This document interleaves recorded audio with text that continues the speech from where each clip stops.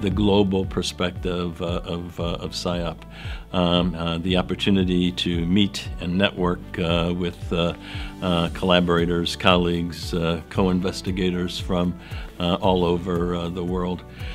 I think um, as we sort of more and more um, recognize that childhood cancers are not single diseases, but actually multiple uh, subsets of, uh, of disease. Um, it's going to require more and more international collaboration uh, to uh, effectively uh, study uh, these and new drugs for these diseases.